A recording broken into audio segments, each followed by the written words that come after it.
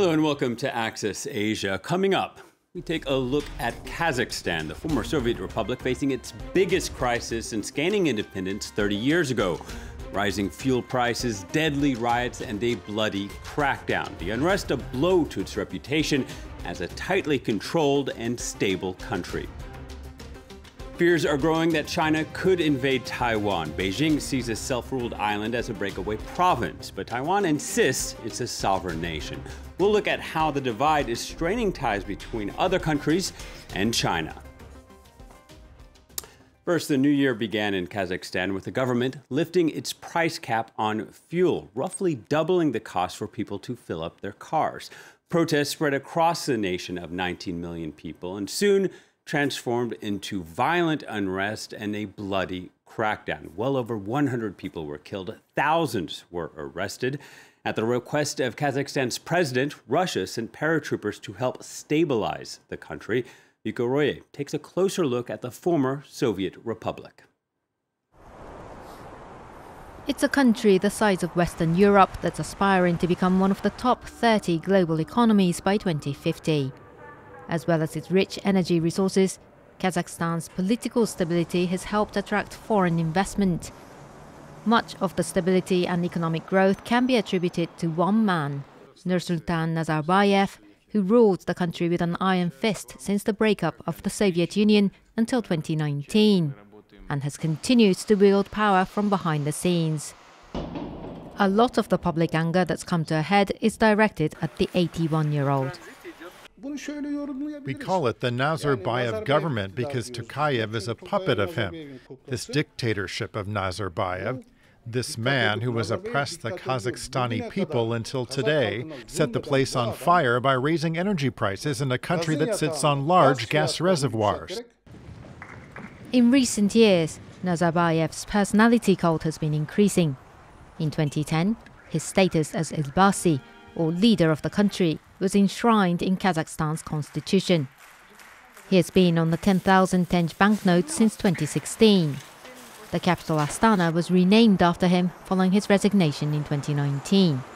While some analysts suggest there may be an internal power struggle behind the ongoing unrest, the West is concerned about the quick deployment of troops from the Russian led military alliance CSTO at the request of incumbent President Kassym-Jomart Tokayev to help restore order.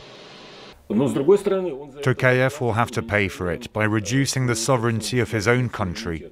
He will depend on Russia more heavily. Even in comparison to Nazarbayev, Putin will not miss this chance in this regard. The current president removed Nazarbayev from the powerful Security Council without explaining why. The former strongman has not appeared in public since the start of the protests.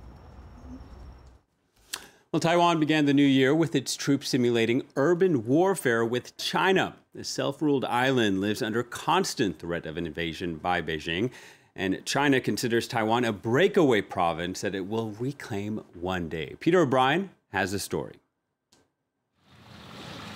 This is Taiwan's first line of defense, a beach on the Kinmen archipelago dotted with spikes to stop landing craft just three kilometers from the glittering towers of mainland China. There are bunkers and other remnants of warfare. Everyone here hopes they'll remain artifacts of a distant memory, even though Beijing is threatening to capture Taiwan one way or another. It makes you realize just how close we are. It's stressful. Slogans reading Defend Our Territory and dozens of Taiwanese flags adorn the local streets.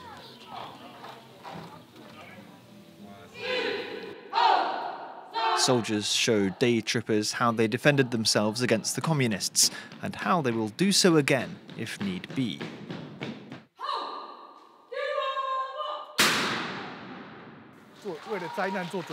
I'm ready for anything.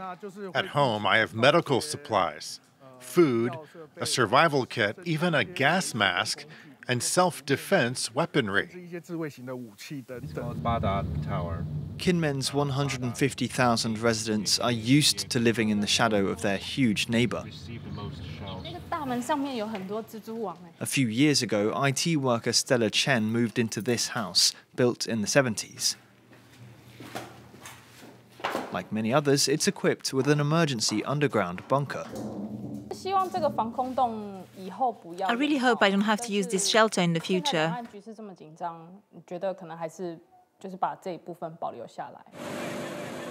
Across the water, China has been practicing beach landings as part of frequent military drills, while flights into Taiwan's air defense zone have become an almost daily occurrence. The threat from the Chinese Communist Party has been a constant presence ever since the nationalist government led by Chiang Kai shek retreated here in 1949. If China attacks Taiwan, we can reach as far as Shanghai. But in any case, we don't want war. Until the 1970s, this three story loudspeaker blasted propaganda messages across the sea.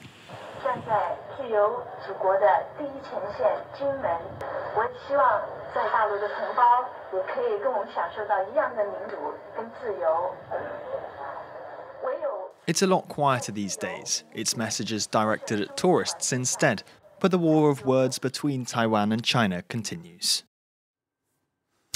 And in the past year, China has stepped up pressure to isolate Taiwan from its international allies, as is the case with Lithuania. The European country let Taiwan open a de facto embassy in its capital and in retaliation, Beijing downgraded its ties with Lithuania. Here to talk to us a bit more is Yena Lee. Hello to you, Yena. And now, despite this uh, row between China and uh, Taiwan, apparently it's a good time to be Lithuanian in Taipei.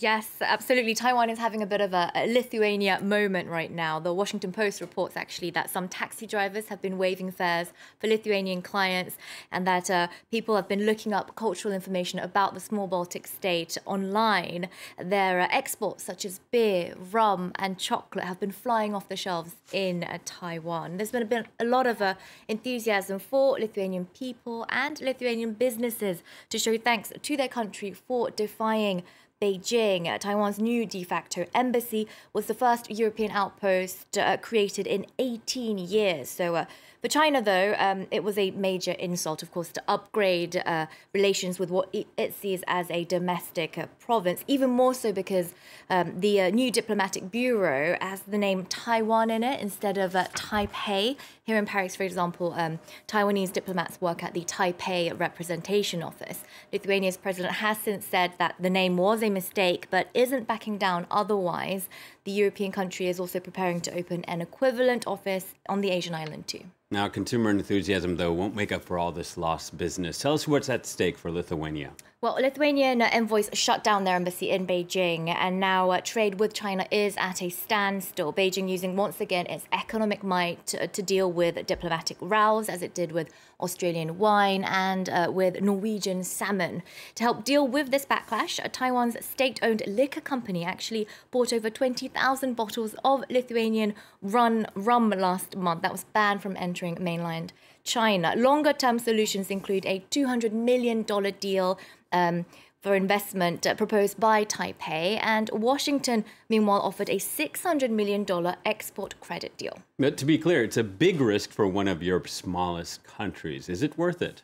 Well, China actually only accounted for 1% of uh, Lithuania's exports, meaning that the Baltic state can kind of afford to uh, do this risky move compared to other countries. Plus, with all the pledges to make up with lost uh, trade that I mentioned before, the economic fallout hasn't been as devastating as it could have been.